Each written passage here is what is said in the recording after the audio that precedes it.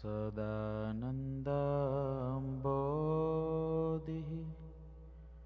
स्मितरुचिर्पूर्णेन्दुवदन प्रफुल्लम्बोजन्मच्छदसदृश शोभाक्षियुगल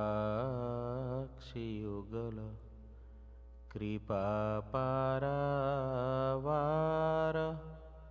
श्रितसकलजीवातिसुखदो महाश्रेयो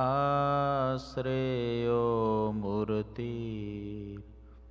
जयति सहि नारायणमुनि वर्निवेशर्मणीयदर्शनम् मन्दहासरुचिरात्मनाम्बुजं। पूजितं सुरनरोत्तमेर्मुदा। धर्मनन्दनमहं विचिन्तये। ॐ अवतारिणे श्रीस्वामिनारायणाय नमो नमः। ॐ श्रीहरिकृष्णाय नमो नमः ॐ પુરુષોત્તમાય નમો નમઃ. બોલો શ્રી સ્વામિનારાયણ ભગવાનની, શ્રી હરિકૃષ્ણ મહારાજની, શ્રી ઘનશ્યામ મહારાજની જય. બધાય ભક્તોને એથી જય સ્વામિનારાયણ. સદગુરુ નિષ્કુળન સ્વામીના ભક્ત ચિંતામણી ગ્રંથમાં બુરાનપુરનો સંઘ મહારાજના દર્શન કરવા માટે જતો હતો. અને એને રસ્તા વચ્ચે ચોર લૂંટારાઓ મળ્યા અને સંઘને લૂંટી લીધો. ત્યારે સંઘના ભક્તો બધા ભેગા મળીને એવો વિચાર કરે છે કે રખે કોઈ આમાં દુઃખ માનતા. આ તો આપણી ભક્તિમાં કોઈ જગ્યાએ કસર હશે એટલે આપણી ઉપર દુઃખ આવ્યું. પણ કોઈએ ભગવાનનો દોષ લીધો નહીં. ભગવાનનો ભક્ત એ જ કહેવાય કે જે ક્યારેય પણ ભગવાનનો દોષ ના લે. ભક્તનો દોષ લે, ભક્ત પોતાના માથે દોષ લે એ સાચો ભગત. ભગવાનને પ્રશ્ન ના પૂછે કે તમે આમ કેમ કર્યું? પણ ભક્ત હંમેશા પોતાના હૃદયને એવું સમજાવે કે મારી ભક્તિમાં કોઈ કસર હશે. મારી કોઈ ખોટ ટાળવાની હશે? મારે કોઈકને કંઈક આપવાનું બાકી હશે એટલે જ મારા જીવનમાં આવો પ્રસંગ બન્યો. ભગવાનના ભક્તના રૂપિયા લૂંટાઈ જાય તો ભગવાનનો ભગત વિચારે આપવાના બાકી હતા. કોઈક જન્મના તે લઈ ગયો. એ લઈ ગયો. બીજું કોઈ ભગવાનનો ચો, ભગવાનનો ભગત ચોર તરીકે, ચોર હોય, પણ ભગવાનના ભગત તરીકે આવીને ભગવાનને કહેતો હોય કે પ્રભુ, રૂપિયાની જરૂર છે. એ ભગવાન આગળ કીર્તન એક જ ગાતો હોય કે પ્રભુ, તમ વિના મારું કોણ છે? તમે જાણો છો રે? હરી હરી. મારા તમારા વિના કોણ છે? રૂપિયા ક્યાંથી લાવીશ? અને જે ભગવાનનો સાચો ભગત હોય, એ ભગવાનને કહેતો હોય, પ્રભુ, તમ વિના મારું કોણ છે? પ્રભુ, આ લોકમાં મારે કંઈ જોતું જ નથી. તો મહારાજ કે કંઈ વાંધો નહીં, આને જોઈએ છે ને, તાર જોતું નથી. તાર, મારા સિવાય તારું કોઈ નથી. અને આને મારા સિવાય ઓલાને પછી સંકલ્પ ભગવાન કરાવે કે જો આ બાજુમાં ગાય છે ને ઘેર જજે. પાંચ લાખ રૂપિયા પડ્યા છે, લઈ લેજે. સંકલ્પ કરાવે ને ઓલો લઈ લે બેને ભગવાન આપે. પણ અહીં આગળ આ પરચામાંથી શીખવાનું છે એ કે ભગવાનનો ભક્ત ક્યારેય પણ ભગવાન ઉપર કોઈ પ્રકારનો આક્ષેપ નાખતો નથી. ભગવાને એ ભક્તોને બધાઈને છોડાવ્યા અને ચોર થકી મુકાવી અને પછી ભગવાન એને રસ્તા સુધી મૂકવા ગયા. જંગલ પૂરું થયું, પછી ભગવાન ત્યાંથી અદૃશ્ય થઈ ગયા. ધીરે ધીરે જ્યારે સંઘ મહારાજની પાસે ચાલીને આવ્યો, ત્યારે મહારાજે બોલ્યા, મહારાજ ત્યાં બોલ્યા કે કેવી રીતે તમે એ પહોંચ્યા? ત્યારે બધા ભક્તો કે મહારાજ, અમારે તો આવું થયું અને જંગલની અંદર ચોર, ચોરે અમને લૂંટ્યા. પણ પ્રભુ, તમે આવીને અમારી રક્ષા કરી. મહારાજ હસતા હસતા કે અમારા સિવાય બીજો આવે કોણ જંગલમાં? આમ મહારાજે એ દેશના હરિભક્તોને વાત કરી. હવે નિમાડ દેશની વાત કરે છે એમપીની વડીની માળ દેશની વાત સુની સહુ થાસો રડિયાત ગામ સરસોદમાં જન જેહ કનબીરામજી નામે છે તે તેના શરીરમાં નહીં સુખ.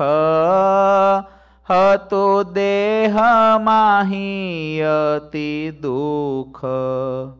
તેની પીડામાં બહુ પીડાય. કરે સુખ થવાનો ઉપાય. દેવ પિત્ર ભૈરવ ભવાની બહુ માનતા એહને માની.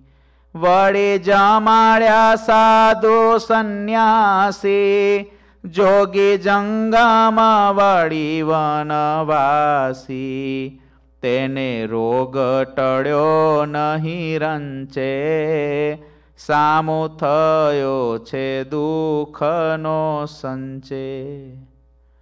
નિમાડ દેશના રામજી પટેલ બીમાર પડ્યા. શરીર સારું નથી. શરીર સારું ના હોય એટલે પહેલાં વ્યક્તિ ડૉક્ટર પાસે જાય.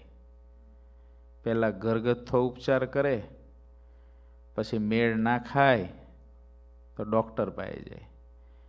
અને ડૉક્ટર પાસે મેળ ના ખાય, ત્યારે ભૂવા પાસે જાય. કારણ કે આવે આ દવાથી સારું નથી થતું. એટલે ચોક્કસ કોઈએ દાના નાખ્યા હશે, કોઈએ મંત્રજંત્ર કર્યા હશે આવી માન્યતા સમાજની અંદર લગભગ ઉદ્ભવે છે. એક સ્વામિનારાયણ સંપ્રદાયના કથા વાર્તાથી ઘડાયેલા સત્સંગી સિવાય સ્વામિનારાયણ સંપ્રદાયનો હોય, પણ જો કથા વાર્તાનો યોગ ના હોય, તો એ પણ એવી શંકા કરે કે કોઈ અડદના દાણા મંત્રીને નાખ્યા છે. યુકેની અંદર એક પરિવાર છે, સત્સંગનો પરિવાર છે. એ ભાઈ એવા ઘણી વખત ભેગા થતા પહેલાં ત્યારે વાતો કરે. મને ઘનશ્યામ મહારાજના આમ દર્શન થયા, મને આમ દર્શન થયા, આવી રીતે મહારાજ મને રાત્રે દેખાયા. આમ બધી વાતો કરે. પછી થોડા વર્ષો પછી મળવાનું થયું. તો કે, સ્વામી, ખબર નહીં, મોટા છોકરાની વહુ આવી છે ને.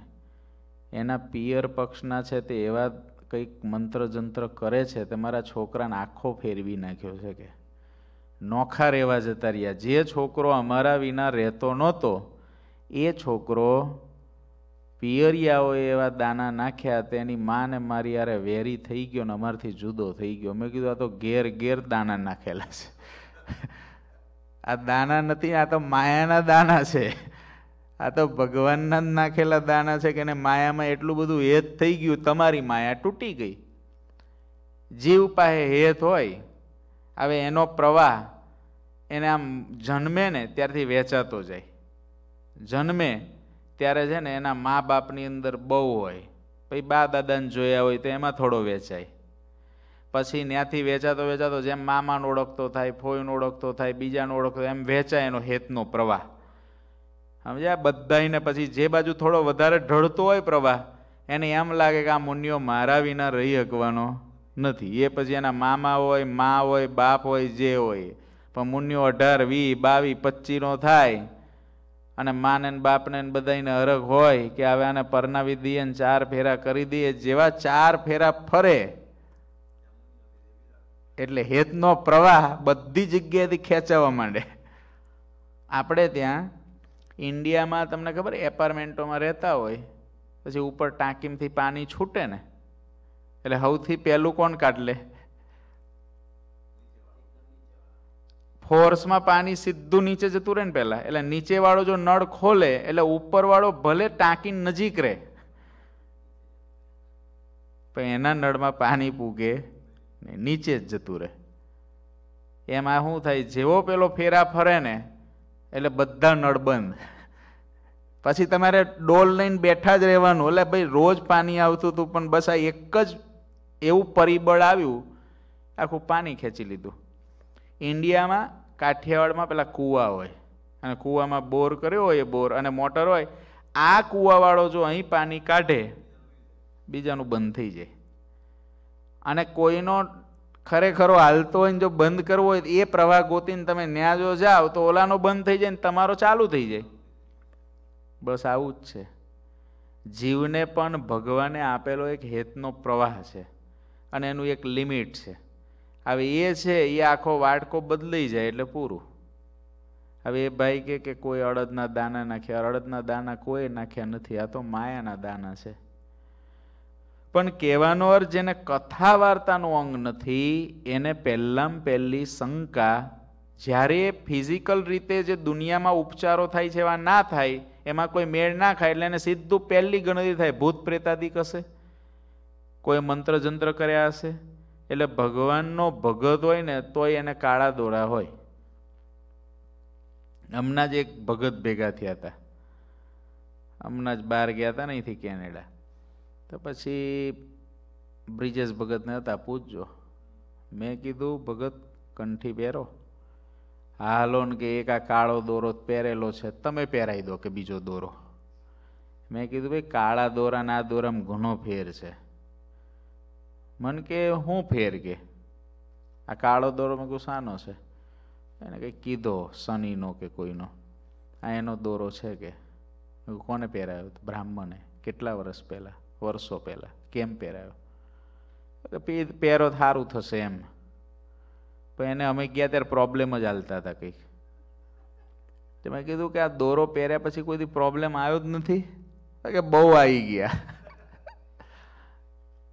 મેં કીધું આ દોરો કાઢી નાખો આવે ગુરુ, ગુરુનો ગ્રહ લટકાયેલો કાળો દોરો. મેં કીધું આ દોરો કાઢી નાખો.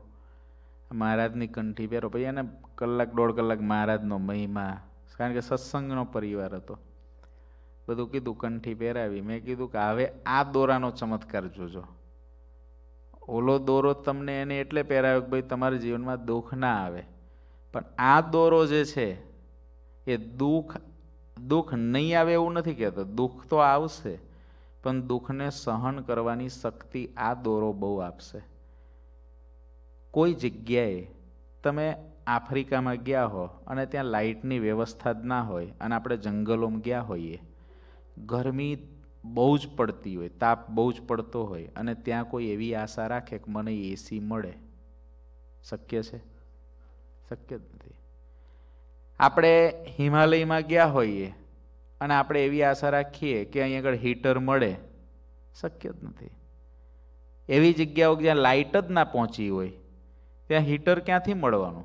હા, લાકડા મળી જાય કદાચ તાપવા માટે, પણ હીટર તો ના જ મળે કે આખી રૂમ ગરમ કરીને તમે બેડમાં ઊંઘી ગયા હો લેરથી એવું તો ના જ મળે. એમ, આ સંસાર છે, સંસારનું મટીરિયલ જ દુઃખમાંથી બનેલું છે.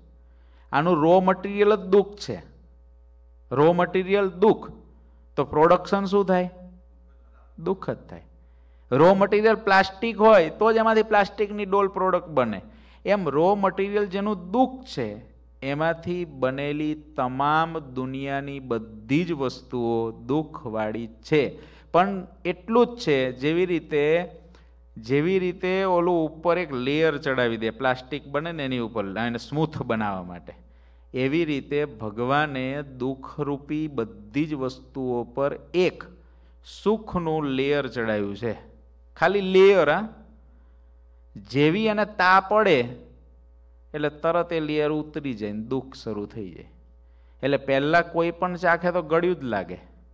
આ દુનિયાનું બધું જ એવું છે. એકવાર ચાખો ને એટલે પહેલી વખત કેવું લાગે? મીઠું.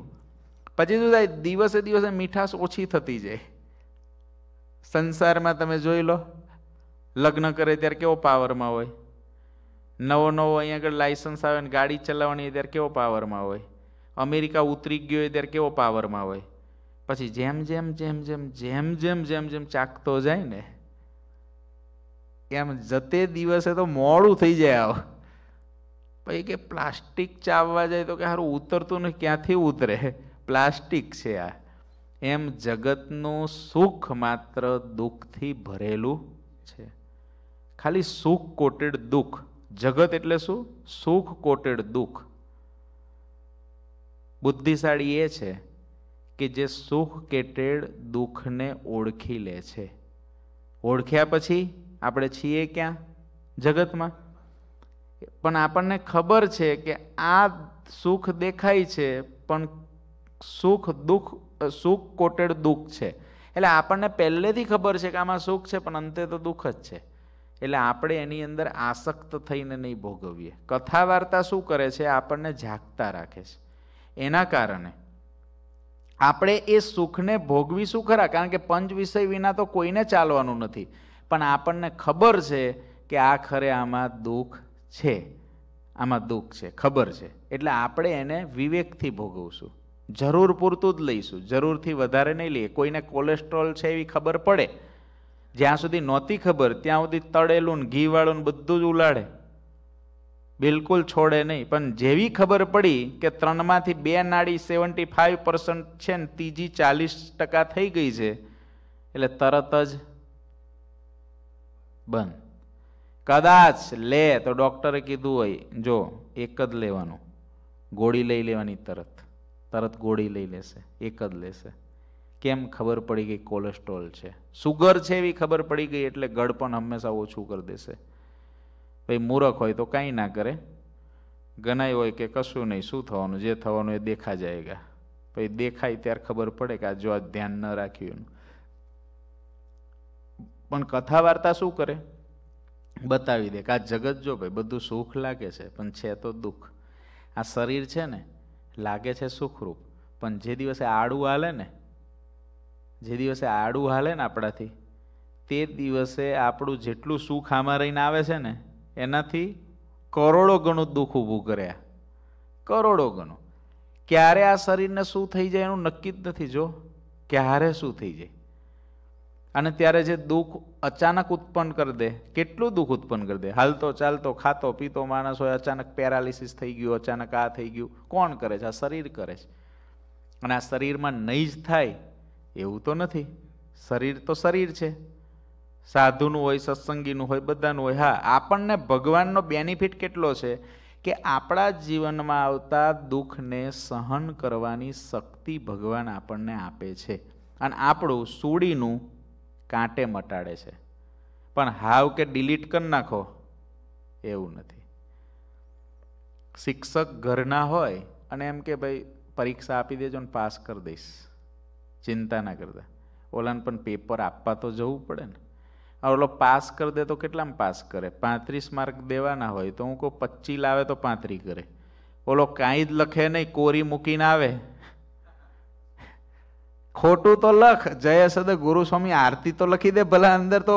પેલા શિક્ષકે માર્ક આપ્યા હોય તો એ કોઈને કહીએ કે કોઈ કંઈક ભર્યું તું એટલે મેં દીધા છે એમ. શિક્ષકો શીખવાડે એવું કે બોર્ડની અંદર પેપર લખો ને. બાબુ કાકા, તમારો વિષય થયો. કે જો પેપર લખો ને તો તમારે કે લખી દેવું, જે આવડે છેવટે ના આવડે તો ગીત લખી દેજો તમને આવડતું. કારણ કે ત્યાં કે ફૂટપટ્ટી લઈને જ બેઠા હોય. એ માપીને જવા દે અથવા તો નપાસ થતો હોય એવું લાગે.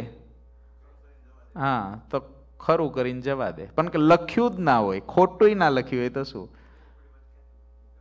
ક્યાંથી મૂકે? એવી રીતે આ લોકની અંદર દુઃખ આવવાનું છે સૂડી જેટલું. એટલે ભગવાન આપી તો દે જ, પણ કેટલું આપે? કાંટા જેટલું. સૂડીનું કાંટે મટાડે છે. આટલું જો વિચાર કરી લઈએ કે સૂડીનું કાંટે મટે છે તો કોઈથી દુઃખ જ ના થાય. જે આવ્યું, ઓહો સૂડીનું કાંટે મટાડ્યું. કોઈ દી દુઃખ ના થાય. પણ આ વિચાર કોને આવે?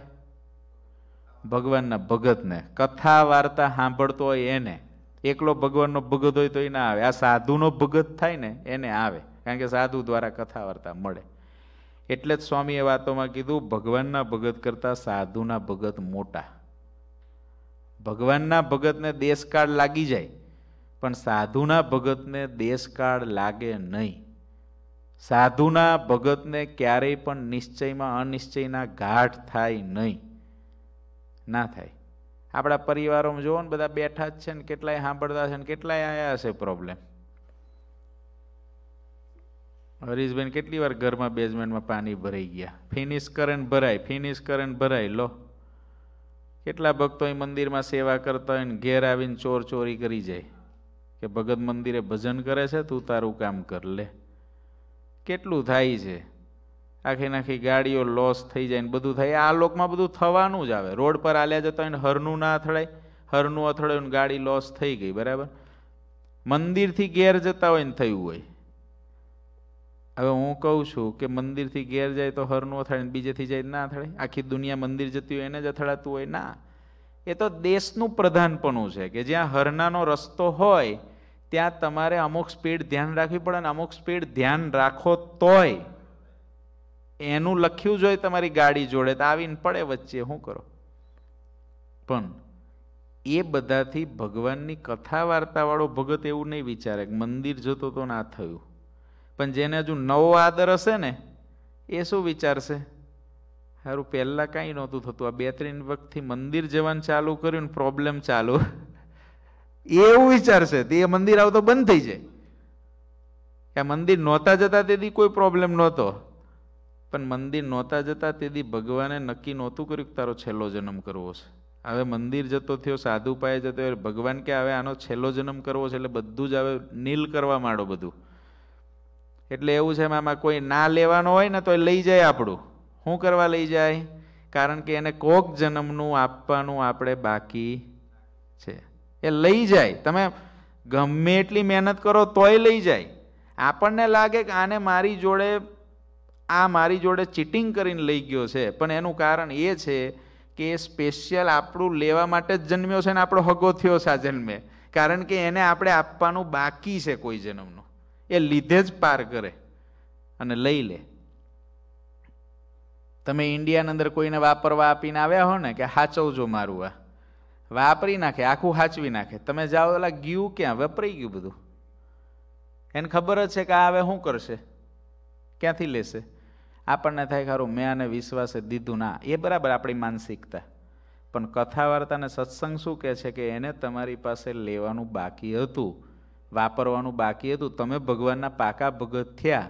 એટલે ભગવાને વિચાર્યું કે હવે આનું ઋણ મારે કોઈ જોડે રાખવું નથી. કોઈક જન્મનું બાકી છે. હાલ ભાઈ, તું તારું કામ કર એટલે મારો ભગત વહેલો જન્મ મરણમાંથી છૂટો થાય. આ ભગવાન કરે. પણ આવો વિચાર ભગવાનની કથા વાર્તાના અંગવાળા સિવાય કોઈ ભગતને આવે નહીં. કથા વાર્તાવાળાને આવે. આને બધા બહુ ભૂત ભૈરવ ભવાની બધાની માનતા કરીને બહુ સંન્યાસીઓને સાધુઓને જમાડ્યા. પણ કોઈ રીતે સારું થયું નહીં. ઉપરથી દુઃખમાં પડ્યો. સુખમાં પડવાની જગ્યાએ દુઃખમાં પડ્યો. ત્યાં સહજાનંદી બે સાધુઓ આવ્યા એને ઘેર. એના દર્શન કર્યા. રામજી પટેલ તો સાધુના ચરણ છોડે જ નહીં. આ સાધુ કંઈક નવી ભાતના દેખાય. આ કપડાને બધો આપણો ડ્રેસ જુદો પડે ને, તિલક ચાંદલો ને બધુંય. એટલે સાધુના પગમાં પડીને પેલા બધા બીજા સાધુ સંન્યાસીઓના વેશ હાવ જુદા ને આ સાધુ તો બહુ સૌમ્ય દેખાયા, બહુ મોટા દેખાયા, પગમાં પડ્યા ને રામજી પટેલ કે, હું તમારી શરણે છું, તમે મારી ખબર રાખો. શું થયું છે ભાઈ?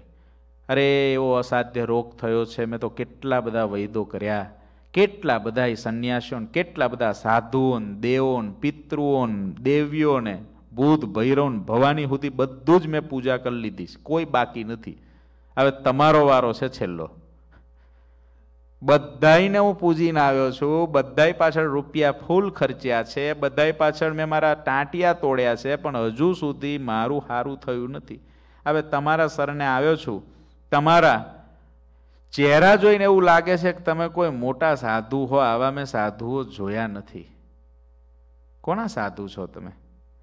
સંતો કે અમે ભગવાન સ્વામિનારાયણના સહજાનંદી સંતો છીએ. એમ? તમારું દુઃખ દૂર કરશો, હું તમારા શરણે છું. મને સારું થાય એવું કરો. બોલો, સંતો આવે તરત જ એમના કેસે માથે હાથ મૂકીને, જા બચ્ચા, તેરા અચ્છા હો જાય. સહજાનંદ કે, નામ પે. એવું જ કહેશે ને મામા? સાંભળો, જો, સંતો શું, સંતો શાના માટે આ પૃથ્વી પર છે? આપણા રોગ ટાળવા માટે? આપણો કોઈ બિઝનેસ બગડી જતો એ રિપેર કરવા માટે? આ જગતના દીકરા, દીકરીઓ રૂપિયા છોકરા છૈયા બધું દેવા માટે? હા. સંત દયાએ કરીને ક્યારેક અચાનક ભગવાનને પ્રાર્થના કરે ને ભગવાનને કરવું હોય, એનું હિત દેખાય તો ભગવાન કરે, એ વાત નોખી છે. પણ સંત પૃથ્વી પર શાના માટે છે? એ અહીંયા આગળ કહે છે. સંતો જુઓ કેટલું સરસ કહે છે. નંદ પંક્તિના સંતો, મહારાજને મળેલા સંતો, સમર્થ સંતો, ગુણાદિતાનંદ સ્વામી અને કૃપાનંદ સ્વામી જેવા સમર્થ સંતો હતા બુરાનપુર બાજુ આ વિચરણમાં. એવા સાધુ.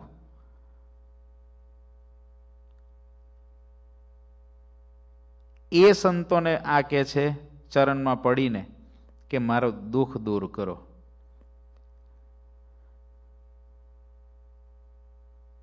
ત્યારે સંત કહે બહુ સારું તમે ધારો જે નિયમ અમારું. પહેલી શરત. શું ધારો? અમારો નિયમ પહેલો ધારો, વર્તમાન ધારો. પછી હાથમાં જળ લઈ, મેલ્યું સંતને ચરને તઈ. સંત કહે નારાયણ નામ, ભજત જતું સર્વે કામ. સંતો કે વર્તમાન ધારવા પડશે, ઓલો કે જે ધારવાનું એ કો સારું થશે ને પણ. સંતો કે વર્તમાન ધારવા પડે, ધારી દે, શું કરવાનું? હાથ ધરો, જમનો હાથ ધરો, પાણીના ટીપા મૂક્યા, બોલો કાળ, માયા, પાપ, કર્મ બધું પાંચ વર્તમાન પાડવાના દારૂ નહીં, ચોરી નહીં, માંસ નહીં, વ્યભિચાર નહીં વટલવું નહીં, વટલાવું નહીં, પડશે પડશે ને બધું જ થશે. સ્વામિનારાયણ મંત્ર જપાશે જપાશે. તો હવે સાંભળો, બધા કામ પડતા મૂકી દો અને સ્વામિનારાયણ મંત્ર ચાલુ કરી દો. પણ સારું થશે કે નહીં થાય એ તો કહો. ત્યારે સંતો કહે છે, તન તારું રહે કે ન રહે?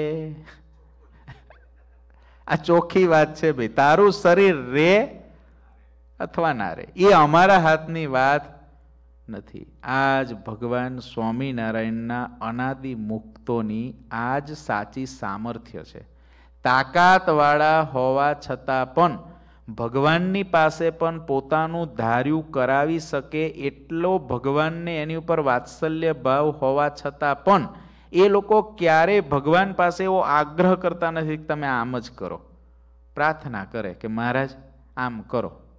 પછી મહારાજની જે ઈચ્છા, આ હંમેશા સંતોએ રાખ્યું છે.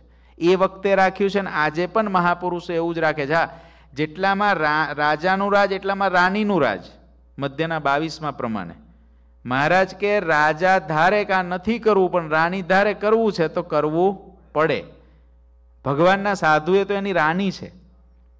ભગવાન એના સાધુનું કહેલું સાંભળે જ છે, પણ કોઈક વખત, કોઈક કેસોમાં ભગવાન ખાલી હસતા રહે હામું જોઈને. માને નહીં, ખાલી હસ્યા કરે. સાધુ જ્યારે એવા મોટા સાધુ પ્રાર્થના કરે ને ભગવાનને, જો જ્યારે જ્યારે ભક્ત ચિંતામણીમાં વડોદરાના નાથ ભગતના છોકરાને લેવા આવ્યા તો મહારાજ તો લેવા આવ્યા. બરાબર, એની બાઈ બહુ ધમપછાડા કરતી હતી. મહારાજ કે, તું ગમે એટલી ઊંચી નીચી થાય તારા છોકરાને લીધા વિના હું નહીં જોઉં, બાપુને. ઓલી બાઈ પછી છેવટે થાકી. પણ સંતો બાજુ ઊભા ઊભા જે લેવા આવ્યા હતા ને, એ કે, મહારાજ, ગ્રહસ્થને તો બે જ સુખ રૂપિયાનો છોકરો. રહેવા દો ને મહારાજ. તો શું કરીશું? બાજુવાળાને ઉપાડીએ. પાડોશીનો ઉપાડ્યો. પણ એ સલાહ કોને આપી? સંતોએ. મહારાજે માની. પણ સંતોએ એમ ના કીધું કે મહારાજ, નહીં લેવાય આ છોકરો, બીજો લઈ લો. સંતોનું ધાર્યું મહારાજ કરે છે છતાંય પણ સંતોનો સ્વામી સેવક ભાવ અખંડ જળવાયેલો રહે છે. અનાદિ મુક્તો ભગવાન પાસે ધાર્યું કરાવી શકે છે છતાંય પણ એ ભગવાન સાથે સ્વામી સેવક ભાવે રહે છે. સ્વામી તો તમે છો. અમારી તો અરજી છે અને મરજી તમારી છે. આપણે બધા યાત્રામાં ગયા, ત્યાં શું માનો છો કે ગુરુજીએ ધાર્યું જ હોય કે આમ જ કરવું છે? તો થાય. પણ ભગવાનના મોટા પુરુષો ભગવાનની આગળ ખાલી શું મૂકે છે? અરજી. કારણ કે ઘણીક વખત જો તમે ધાર્યું કરાવો, કરે પણ ખરા ભગવાન, પણ આગળ એવું ધાર્યું થાય કે જે તમે ના ધાર્યું હોય. તમે ના ધાર્યું એવું અનધાર્યું થાય. એટલે ભગવાન ઘણી વખત ધમ પછાડા કરી મૂકો ને તો ભગવાન કે ના, મારે અનધાર્યું નથી થવા દેવું. તારું ધારેલું જ રે, મારું ધારેલું જ રે અત્યારે. મેં તારું ધાર્યું સો વખત કર્યું છે ને, એક વખત આ વખતે તારું ધાર્યું નહીં કરું. સો વખત મેં તારું ધાર્યું કર્યું છે, પણ આ વખતે તારું ધાર્યું નહીં કરું, કારણ કે તારું ધાર્યું કરવામાં ઘણું અંધાર્યું છે. એ ભગવાન પોતે જાણતા હોય. એટલે ક્યારેક ના કરે એટલે અનાદિ મુક્તોની એક રીત છે કે હંમેશા ભગવાનને કે, પ્રભુ, આ અમારી અરજી અને તમારી મરજી. ભગવાનની મરજીમાં ભળી જાય પછી. કે છે, તન તારું રેક જો ભાઈ એની કોઈ ગેરંટી નહીં. પણ, થયું કલ્યાણ તું માની લહે તારું કલ્યાણ પાકું. તને કેટલી ગેરંટી એ સાંભળ? જ્યારે આવશે દેહનો કાળ, ત્યારે લેવા આવશે દયાળ. કેટલું મોટું કામ થઈ ગયું. આ લોકનો રોગ ટાળ્યો હોત તો શરીર સાજું રહેત, પણ આ સંતોએ રામજી પટેલનો જન્મ ને મરણનો રોગ ટાળી દીધો. જિંદગીમાં નહીં, યુગો યુગાંતર સુધી બીજો રોગ જ ના થાય ક્યારેય. મોટા મોટો રોગ કયો છે? મોટા મોટો રોગ કયો?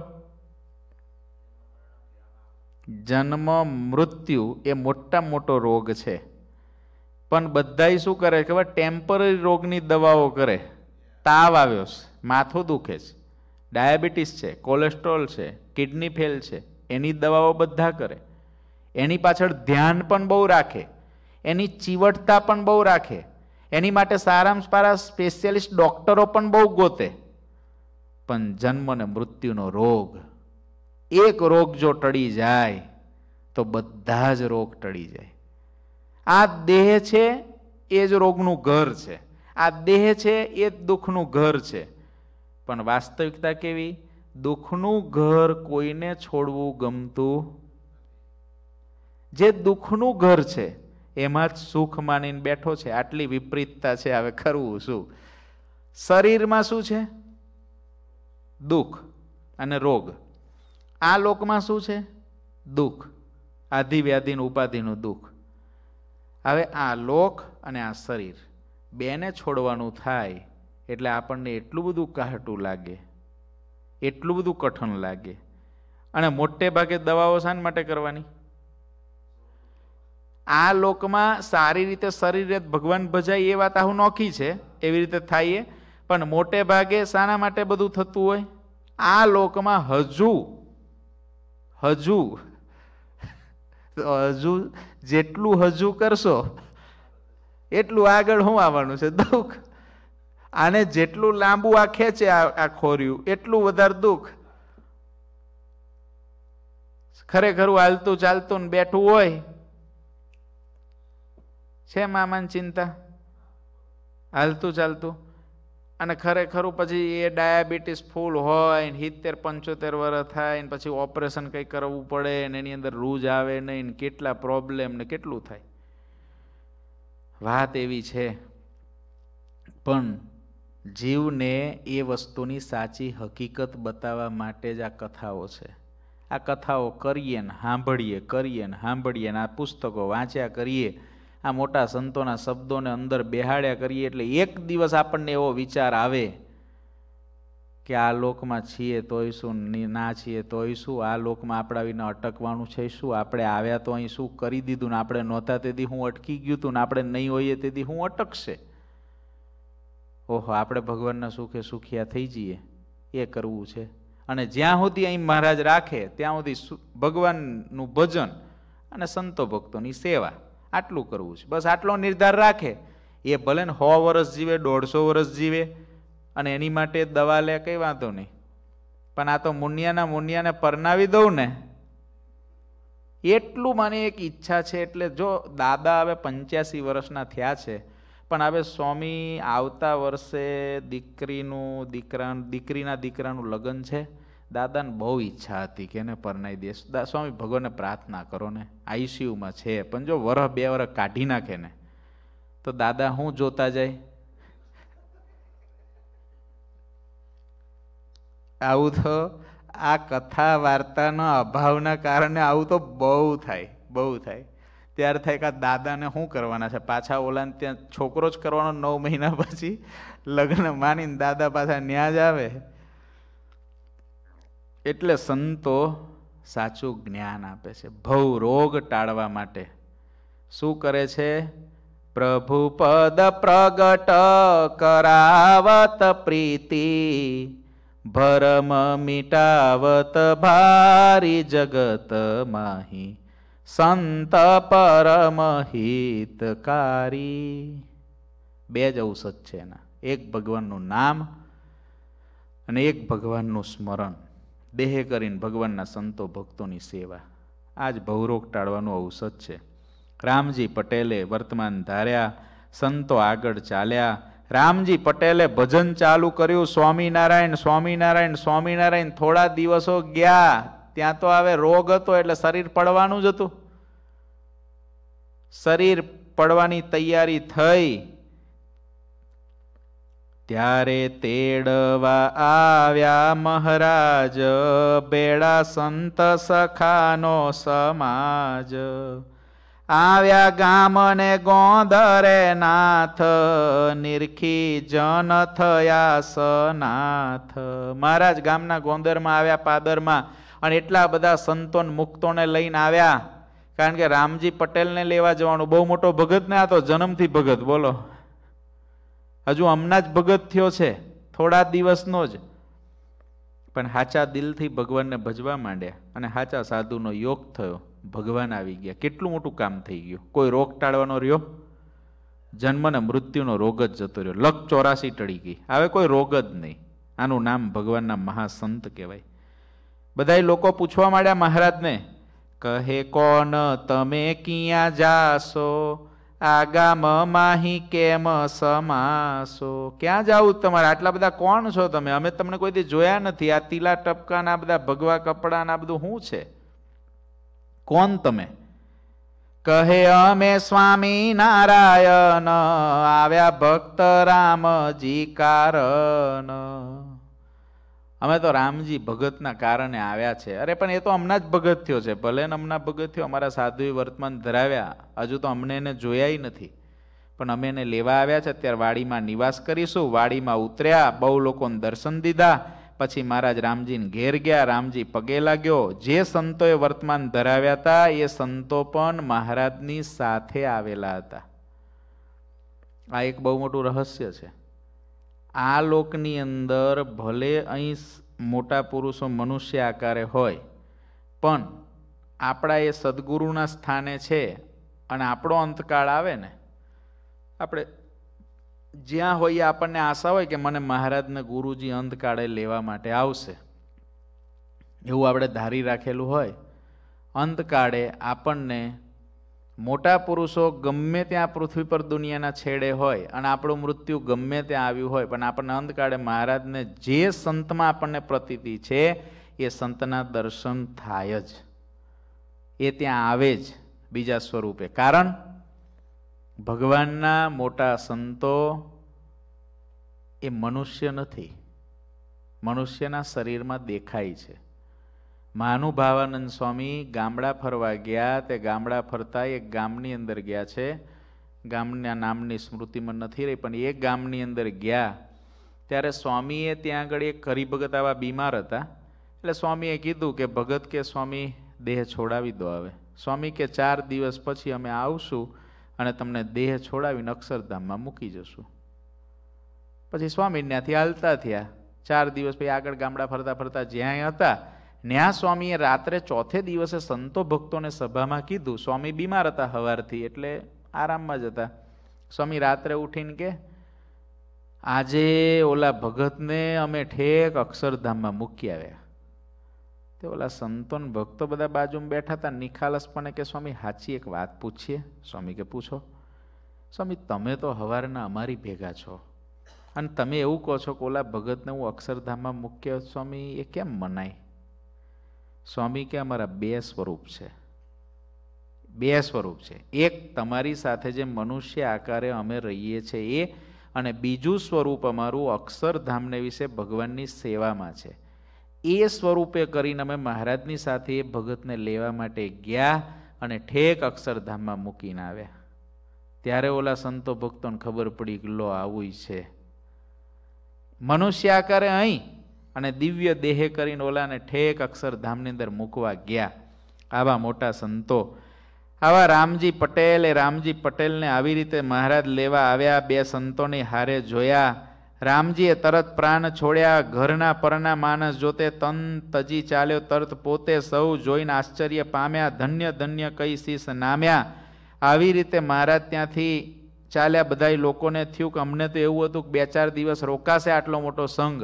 પણ આ તો રામજીના પ્રાણને લઈને ભગવાન એના આત્માને લઈને અક્ષરધામ તરફ ચાલ્યા. એમ બોલે ગામ લોકવાન, થયો પરચો પ્રગટ પ્રમાણ. એવી રીતે અપ્રમ પાર થાય પરચાતે લાખ હજાર. અહો વાત અતિશય મોટી હસે પાપી તે માનસે ખોટી. આ કોને ખોટું લાગે? પાપીને ખોટું લાગે. આવું જ કઈ હોતું હશે? સ્ટોરી બનાવી દીધી. પાપી છે ને, આ વાંચે ને, આ નિષ્કુળન સ્વામી બેઠા બેઠા નવરા ખબર નહીં લખ લખ જ કર્યું કે, કોઈ ગયેલો કહેવા આવ્યો? એ શું કે, ગયેલો કોઈ કહેવા આવ્યો? ભાઈ આ નિષ્કુળાનંદ સ્વામી, મુક્તાનંદ સ્વામી, ગોપાળન સ્વામી આ બધાય અક્ષરધામમાંથી કહેવા જ આવ્યા હતા અહીં. અહીં કહેવા જ દેખાયા છે આપણને. અને હજુ ગુરુજી જેવા ત્યાંથી કહેવા માટે જ અહીં દેખાય છે. પણ પાપી શું માને? આ તો બેઠા બેઠા જેમ પેલો પેલો જેમ પેલો નોવેલ લખતો હોય ને કોઈ વ્યક્તિ, કલ્પના કરી કરીને, એમ લખી દીધું છે. આ તો બધી પ્રગટની વાતો છે, સાચી વાતો છે. સ્વામી કે પાપીને નહીં મનાય. કહેતા લખતા ન આવે છે ક લખીએ એક તો રહે અનેક. સ્વામી કે આનો પાર જ આવે એવો નથી, એક કહીએ ને તો એ અનેક રહી જાય. કારણ કે ગામ ગામ પ્રત્યે, વ્યક્તિ વ્યક્તિ પ્રત્યે પરચાઓ છે, વ્યક્તિ વ્યક્તિ પ્રત્યે. જેટલા ભગવાન સ્વામિનારાયણની ઉપર શાસ્ત્રો લખાયા છે, આ પૃથ્વી ઉપર, એટલા કોઈ અવતારો પાછળ લખાયા નથી. કેટલા શાસ્ત્રો? અને હજુ એવા કેટલા શાસ્ત્રો છે કે જેનું સંશોધન હજુ થઈને પ્રકાશિત નથી થયા? એવા તો પોથીઓની પોથીઓ પડી છે. એક જ પાત્રની પાછળ આટલા બધા શાસ્ત્રો લખાયા હોય. તમે જે ચરિત્રનો ગ્રંથ વાંચો, બધા જ તમને અલગ અલગ ચરિત્રો સાંભળવા મળે તો વિચારો ખરા મહારાજે કેટલા ચરિત્રો કેટલા સ્થાનોમાં અને કેટલા વ્યક્તિઓ પાસે કર્યા હશે? એક સાથે મારા એક જ દિવસમાં ત્રણ ત્રણ જગ્યાએ દર્શન આપ્યા એવા તો શાસ્ત્રોમાં આજે પ્રમાણો મળે કે એક જ તારીખે એટલે કે એક જ તિથિએ, એક જ સાલમાં એ જ ટાઈમે મહારાજે એક સાથે ત્રણ જગ્યાએ દર્શન દીધા હોય. ત્રણ જગ્યાએ લીલા કરી હોય અને ત્રણેવ લીલાના સ્થાન એક આ દિશા એક આ દિશા એક આ દિશા આટલું દૂર હોય. તો હવે એ તો જેને જાણ્યા લખ્યા, પણ જેને બીજી જગ્યાએ, હજારો જગ્યાએ થયું હશે એ નહીં લખાનું હોય અથવા લખાયું હશે ને છપાયું નહીં હોય, એ મહારાજના કેટલા એટલે મહારાજના ચરિત્રો જ એવા છે કે કોઈને પૂછવા ના જવું પડે કે આ સર્વોપરી છે કે નહીં. એના ચરિત્રોના ગ્રંથ ખાલી આમ, ચરિત્રોના ગ્રંથની આમ ફૂટપટ્ટી લઈને માપપટ્ટીથી માપે ને તોય ખબર પડે. અરે કોઈને કલ્પના કરીને લખવું હોય તોય કેટલુંક લખે. આજે કોઈ પાત્રને આપણે લઈ લઈએ કે આ ભાઈ, હાલો, એની ઉપર કોઈને કલ્પના કરીને બુક લખવી, આજે કેટલાય બની બેઠેલા ભગવાનો છે. રાયપુરના ભગવાનને, આ પૂરના ભગવાનને એવી બુકો એની બહાર પડે સમજ્યા અત્યારના પરચા, ભગવાનના પરચા. પણ એની બુક કેટલી ખબર? આટલી બુક લખે તો થાકી જાય. ખોટું કેટલુંક લખાય. તમે કલ્પના કરી કરીને કેટલીક લખો. ના લખાય. જરા તો અનુભવનું છે. નીકળ્યા જ કરે, નીકળ્યા જ કરે, નીકળ્યા જ કરે. એટલું બધું અનુભવનું હોય. એ આ મોટા પુરુષોએ લખ્યું એવા મોટા મહારાજ અહીં લખે છે, સ્વામી, છેલ્લે. આગે ધર્યા અવતાર ઘના, જાનો સર્વે આ શ્રી હરિતના પણ આજ વાડ્યો આડો આંક, પ્રભુ પ્રગટ્યા પૂર્ણ મૃગાંક. જે જે આવારે કર્યા કાજ, તે તે આગે ન કર્યા મહારાજ. સર્વે શાસ્ત્રમાં વાત સાંભળી, આજના જેવી ક્યાંય ન મળી. નિષ્કુળાન સ્વામી કે આજના જેવી વાત ક્યાંય ના મળી. આજની તો રીત છે અલેખે, પણ હોય ધીમંત તે દેખે. અમારા ધીમંતબેન કડી મોઢે કરાવી છે હમણાં આવતા. પાછા આવે ને કેનેડાથી, આ કડી મોઢે કરાવીને મોકલ્યા પૂછજો આવે ત્યારે કે કડી બોલો ઓલી. આજ ઢ ઢળ ઢળ્યાય પાર, કહે નિષ્કુળાનંદ નિરધાર. આજની વાત તો અલેખે છે, પણ કોણ જોઈ શકે આને? હોય ધીમંત તે દેખે. ધીમંત એટલે ધી એટલે બુદ્ધિ. બુદ્ધિમંત હોય ને, બુદ્ધિવાળો અતિશય એ જોવે. મતિમંદ હોય, એને ખબર ના પડે. એક મતિમંદ ને એક ધીમંત. પણ ધીમંત એટલે કે બુદ્ધિવાળો આ વાતને જાણે છે. આજ અઢળ ઢળ્યા પાર કહે નિષ્કુળાન નિર્ધાર. ઇતિ શ્રીમદ એકાંતિક ધર્મ પ્રવર્તક શ્રી સહજાનંદ સ્વામી શિષ્ય નિષ્કુળાન વિરચિતે ભક્ત ચિંતાની મધ્ય શ્રીજી મહારાજે હરિજનને પરચાપુરે નામે એકસો ને ત્રેપનમું પ્રકરણ થયું. શ્રી ઘનશ્યામ મહારાજની જે શ્રીપતિમ શ્રીધરમ સર્વદેવેશ્વરમ ભક્તિધર્માત્મજમ વાસુદેવમ માધવમ કેશવમ કામદમ કારણમ સ્વામિનારાયણમ નીલકંઠમ ભજે શ્રી ઘનશ્યામ